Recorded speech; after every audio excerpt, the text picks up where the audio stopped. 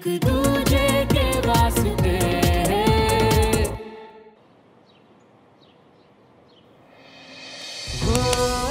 मुझे हर चीज़ से ब्रेक चाहिए। मैं थक गई हूँ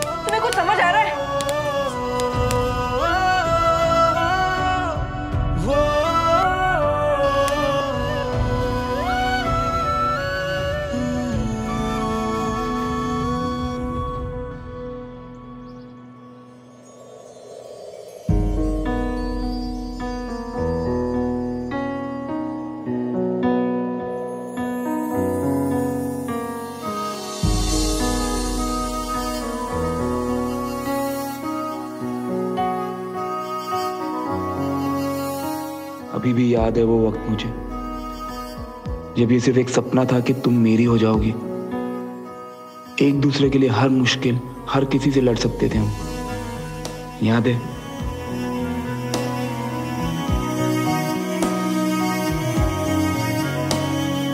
कब एक दूसरे के लिए दुनिया से नहीं, हम एक दूसरे से ही लड़ने लग गए सुमन। तुमसे लड़ना जान ले लेता है मेरी। मैं तुमसे गुस्सा हो सकता हूँ, तुमसे रूठ सकता हूँ, चिल्ला सकता हूँ। पर तुमसे दूर दूर नहीं रह सकता तुमसे सुमन। प्लीज़ वापस आ जाओ सुनो जो भी हुआ ना हमारे बीच आओ हम दोनों भूल जाते हैं। तुम बस वापस आ जाओ। भैया नाश्ता रेडी है। जल्दी से चलो सब आपका वेट कर रहे हैं।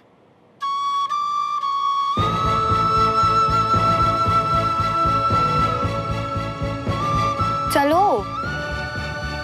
तू जा मुझे भूख नहीं आपको नहीं है। सुमन भाभी वो तो खाएँगी ना? भैया! मैंने कहा ना तुझे।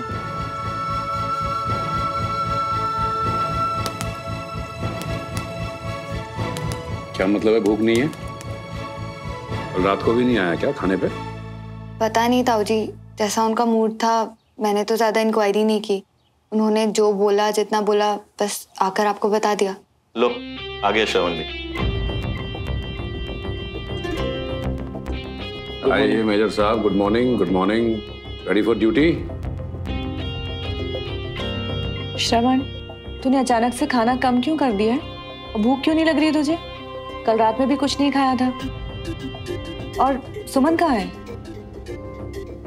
अभी अभी तो अपने चाचा चाचे के यहाँ कल शाम तक भी तो वहीं पर थी ना? अभी भी नहीं आई? अभी भी वही है एक्चुअली वो कल रात को वापस नहीं आई। वापस नहीं आई मतलब? तेरी उससे लड़ाई तो नहीं हुई ना? नहीं नहीं मम्मा मैं तो फिर हुआ क्या? और वो आई क्यों नहीं अभी तक? देखो हम सब जानते हैं वो बहुत जिम्मेदार लड़की है। वो ऐसे ही किसी को बिना बताए जाएगी नहीं। अरे बेटा आजा आजा। देख सब तुझे कब से याद कर रहे हैं। सॉरी पापा। एक्चुअली मैं कल रात को ही वापस आ जाती।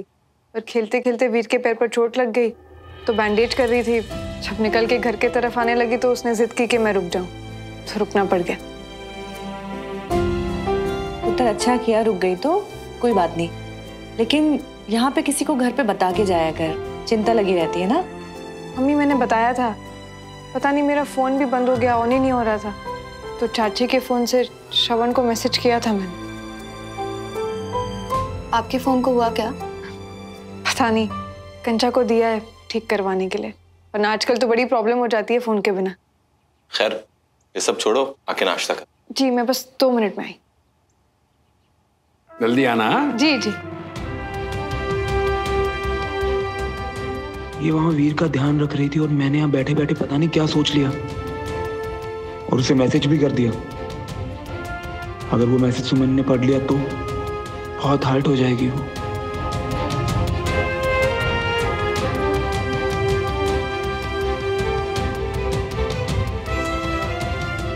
गुस्से में ऐसे दिमाग पर कंट्रोल कैसे खो बैठा मैं? इतनी बड़ी गलती कैसे हो गई मुझसे कि गुस्से में मैसेज कर दिया सुमन को? अगर मैसेज पढ़ लिया तो कभी माफ़ नहीं करेगी वो मुझे। कैसे रोकूं अब उसे मैसेज पढ़ने से? श्रवण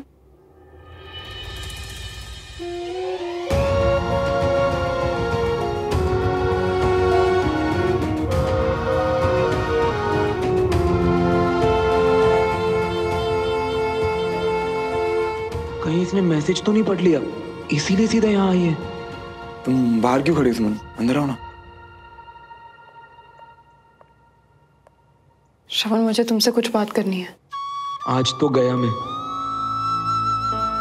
हाँ हाँ बोलो। श्रवण बंटी ने हमारे लिए जो कुछ भी किया है वो मैं कभी नहीं भूल सकती। ये कोई हिसाब बराबर करने वाली बात नहीं है। मैं दिल से चाहती हूँ कि बंटी को दुनिया की हर खुशी मिले।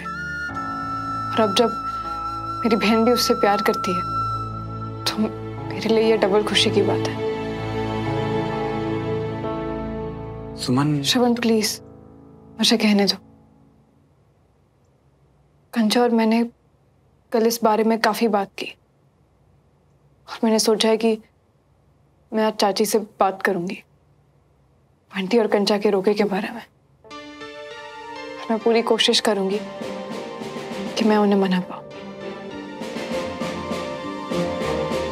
सॉरी तुम्हारे काम के बीच में आ गई तुम्हें डिस्टर्ब किया। बस यही बात करनी थी मुझे। आ, सुमन आ, तुम्हारा फ़ोन खराब हो गया था ना? तुमने ठीक नहीं करवाया? नहीं अभी तक तो नहीं। क्यों? नहीं मैं तो बस ऐसे पूछ रहा था। आ, सुमन। तुम बिज़ी हो क्या? वो एक्चुअली कुछ बात करनी थी। श्रवण अगर कुछ अर्जेंट ना हो तो हम बाद में बात कर सकते हैं प्लीज़ मेरी दुआ सर के साथ मीटिंग है मैं ऑलरेडी लेट हो रही हूँ। हाँ बिल्कुल है ऐसी कोई अर्जेंट मान नहीं है हम बाद में बात करते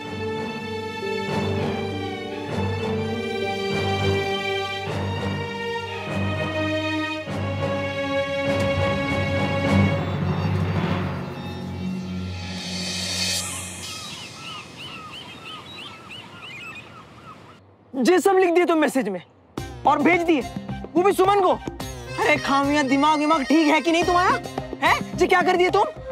पहले तो हमको लगता था कि जी आर्मी में पता नहीं कैसे लोग जो तुमको ऐसे सन के जैसा फालतू नाम दे दिए। पर नहीं, बिल्कुल ठीक नाम दिए तुमको।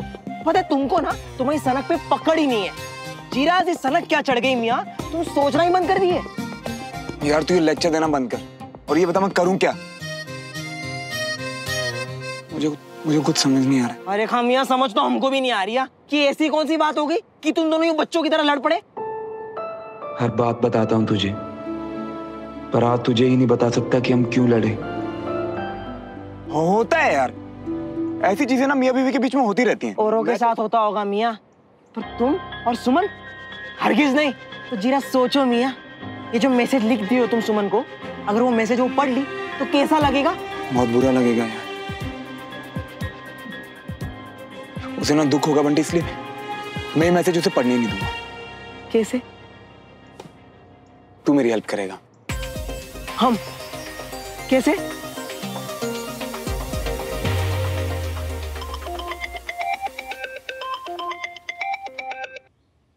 याद आ रही थी मेरी बंटी। हम्म? कैसे हो तुम? हाँ hello hello Kancha. Hello hello आवाज़ आ रही है माई हेलो बंटी। आवाज़ नहीं आ रही है क्या? हेलो हेलो हाँ कंचा हाँ तुम्हारी आवाज़ नहीं आ रही हमको। हेलो ये कैसी मुसीबत है? हेलो बंटी नेटवर्क प्रॉब्लम है क्या? आवाज़ नहीं आ रही है। हाँ हाँ हेलो कंचा हाँ अभी तुम्हारी आवाज़ आ रही है। अब तुम जहाँ खड़ी हो ना वहाँ ही खड़ी रही हो तो क्या ना हमारे फ़ोन पे कुछ प्रॉब्लम चल रही है? पता नहीं किसी की आवाज़ ही नहीं आ रही है फ़ोन पे। वैसे तुम किसी मैकेनिक वैकेनिक को जानती हो? जो हमारे फ़ोन का इलाज विलाज करवा दे। हाँ एक दुकान है। आज ही मैंने सुमन का फ़ोन वहाँ रिपेयर करने के लिए दिया है। बंद पड़ गया था। अच्छा अच्छा। वैसे जी दुकान का नाम क्या होगा? बता सकती हो कुछ पता वगैरह? और क्या ना हम भी फ़ोन फटाफट रिपेयर करवा लिए। हाँ तो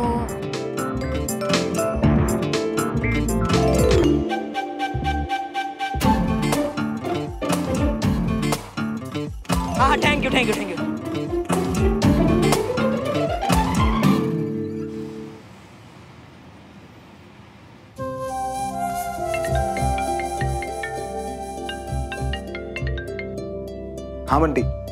कुछ नाम वाम पता चला उस दुकान का? अरे खामिया नाम वाम छोड़ो। हम तो पता फ़ोन नंबर सब लिवा लिए हैं। थैंक गॉड यार। बाल बाल बच गए भाई। अरे मियाँ बताए थे ना हम तुम्हारे को। नो फियर व्हेन मियाँ जियर फिकर नॉट तुम चिंता मत करो। आगे भी सब काम संभाल लेंगे हम। ठीक है ना? हाँ यार Bunty. Thank you so much भाई। चल बाय ठीक है मियाँ।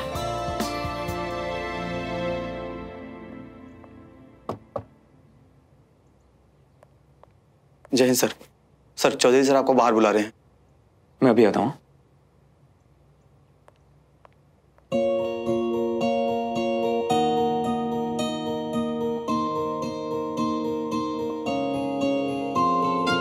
सुमन एक ही दिन में दो दो बार।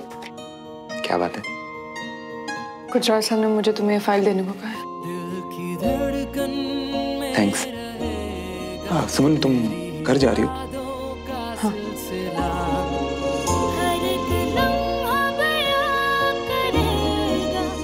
अभी तक लूटी हुई है। कोई नहीं। आज रात पक्का मना लूँगा तुम्हें।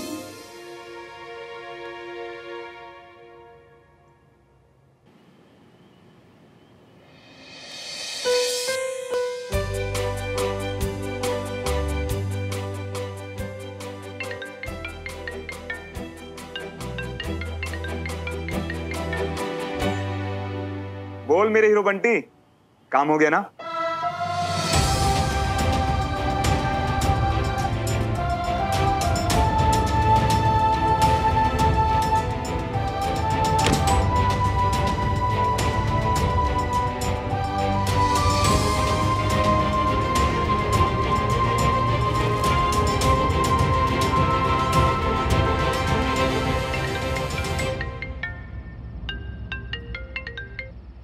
सुमन कहाँ हो तुम? कहाँ हूँ मैं आई थिंक जहाँ हूँ वहीं होना चाहिए मुझे। वहीं? जहाँ तुम मुझे भेजना चाहते थे। नहीं नहीं नहीं सुमन मैं ना इडियट हूँ। पता नहीं मुझसे सब सुमन तुम्हें लगता है मैं तुम्हें ऐसा मैसेज कभी कर सकता हूँ? सुमन तुम तो मेरे लिए पता नहीं मुझसे क्या हो गया। गुस्से में मैं नाराज़ थे मुझसे। मैं समझ सकती थी पर इतना गुस्सा श्रवण इतना गुस्सा कि तुमने मुझसे कह दिया कि अगर मुझे ब्रेक चाहिए। हफ़्ते दस दिन वहीं रुक जाऊँ ताकि ताकि तुम्हें भी शांति मिले। उनका इतनी हराम कर दिया मैंने ज़िंदगी तुम्हारी। नहीं नहीं सुमन आ, नहीं नहीं ऐसी बात नहीं है। मैं तुम्हें कैसे यकीन दिलाऊं कि कल रात मैं तुम्हारा कितना इंतज़ार कर रहा था? इनफैक्ट मैंने तुम्हें फ़ोन भी ट्राई किया तुम्हारा फ़ोन ऑफ़ आ रहा था। पता नहीं मुझसे ये सब। मुझे नहीं पता था सुमन की। श्रवण तुमने मुझे फ़ोन किया और मेरा फ़ोन ऑफ़ था। श्रवण मैं पड़ोस में थी। तुम अपने कमरे से भी मुझे आवाज़ लगा देते ना तो वो आवाज़ मुझ तक पहुँच जाती मैं आ जाती तुम्हारे पास। लेकिन तुमने क्या किया श्रवण? तुमने बस मुझे एक मैसेज भेज दिया। या ये कहूँ कि अपना फैसला सुना दिया। सुमन मैं मानता हूँ कि मुझसे गलती हुई है लेकिन मैं तुम्हें हर्ट नहीं करना चाहता था। कम से कम इतना तो विश्वास करो ना मुझ पे। तुम मुझे हर्ट नहीं करना चाहते थे श्रवण फिर कैसे कर दिया इतना हर्ट मुझे? तुमने तो मेरा दिल तोड़ दिया श्रवण। नहीं सुमन म- म- मैं अभी छत पे आ रहा हूँ तुम मैं वहीं आ रहा हूँ अभी। नहीं। श्रवण तुम नहीं आओगे मेरे पास। पर क्यों सुमन? कि श्रवण हमारा जो रिश्ता था ना वो भरोसे की बुनियाद पर टिका था। वो भरोसा अब ऐसा लग रहा है जैसे नहीं सुमन ये मत कहना तुम जैसे कमज़ोर पड़ता जा रहा है। हम बार बार लड़ते हैं श्रवण और हर लड़ाई के साथ वो भरोसा और टूटता जा रहा है। और जिस दिन हमें लगेगा ना कि वो भरोसा हमारे बीच वापस आ गया है। उस दिन तुम मुझे लेने आना। उस दिन मैं तुम्हारे साथ वापस आऊँगी। लेकिन तब तक तेरी मोहब्बतें तेरी इबादतें।